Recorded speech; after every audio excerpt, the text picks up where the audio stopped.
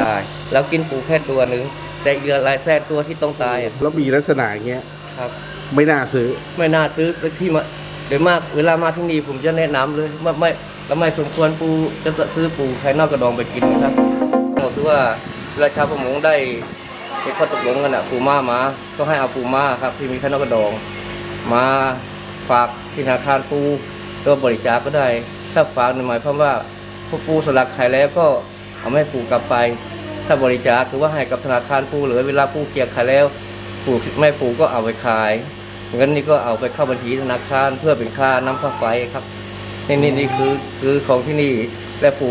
ไข่นอกปูที่ขนาดเล็กกว่าที่เป็นแล้วก็ไม่เอามาด้วยครับ ก็ปล่อยธรรมชาติเพราะว่าที่ตามฟาติเซนนี่เขาถ้าหากว่าเล็กเกินไป เขายังไม่ได้ออกลูกไม่ได้ขยายพันธุ์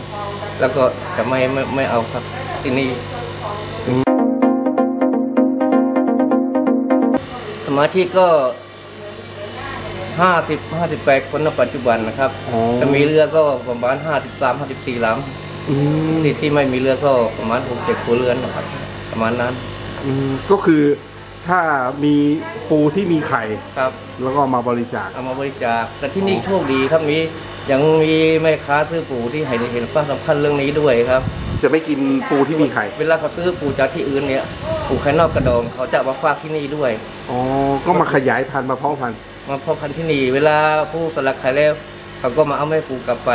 อ๋อเนี่ยและธนาคารปูที่นี่ก็ถือว่าเราได้ลูกปูอืคือปูมธรรมชาติ แล้วเราก็เอาลูกปูไปปล่อยก็ปล่อยก็อืมที่นี่ก็จะปล่อยกลางคืนก็ที่นี่เป็นโชคดีได้ได้ภูมิภูมิประเทศที่ดี เพราะว่าถ้าไม่มีคลองลักษณะนี้ก็ลำบากอยู่เพราะว่าที่นี่เป็นทะเลเปิด ว่าจะทำในทะเลแบบที่เกาะเตียบไม่ได้เพราะเกาะเตียบเขามีเขาสามารถทำในทะเลได้ แต่ที่นี่ลำบากที่โชคดีว่าอยู่ใกล้ปากแม่น้ำเราใช้ต่อท่อต่อท่อลงในน้ำเวลาจะปล่อยแล้วก็ปล่อยกลางคืนนี่คือข้อดีของที่นี่ แต่เมื่อก่อนเราเห็นเลยว่า เวลาจะปล่อยก็ทดลองดูไปปล่อยดูที่ปากท่อนั่นแหละก็เห็นแล้วป่าเยอะมาก คิดว่าถ้าปล่อยกลางวันคงไม่เหลือแน่ถ้าเหลือก็น้อยเลยใช้วิธีหลีกเลี่ยงครับ กก็สีคือว่าถ้าสีเรื่องส้มนะครับใช้ระยะเวลาสี่ถึงเจ็ดวันแต่ถ้าถ้าสีน้ำตาลก็สามถึงสี่วัน มันจะเกิดลูกแต่ถ้าสีเทาก็สองถึงสามวัน แต่ถ้าสีดำนี่ถือว่าแก่เต็มที่แล้วหนึ่งถึงสองวัน โดยมากจะวันเดียวเพราะใส่บอก็ เดี๋ยวพอช่วงบ่ายก็เห็นแล้วเกลียลูกเต็มหมดแล้ว อ๋อแล้วเราต้องช่วยอะไรเขาพิเศษหรือเปล่าคือไม่ แเติมออกซิเจนอย่างเดียวไม่ต้องก็เติมออกซิเจนแล้วก็เปิดบอกว่าเท่านี้แหละเขาปล่อยเพราะฉะนั้นไปแค่ต้องให้นี้อาหารให้อะไรปะไม่ไม่ต้อง ไม่ต้องครับเพราะปู่ที่นี่ใช้เครื่องมือการทำประมงเป็นโรคเพราะว่าก่อนที่เขาจะถูกจับหมาเนี่ยเขาได้กินเหยื่อไปแล้วใช้ป่าเป็นอาหารอ๋อครับแต่ถ้าหากว่าเลี้ยงไว้นาน ถ้า